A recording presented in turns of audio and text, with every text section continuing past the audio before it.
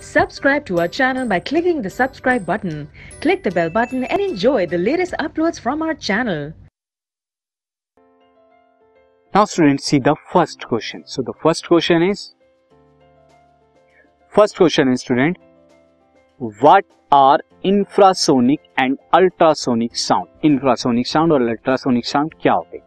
See sound waves having frequencies lower than the 20 hertz.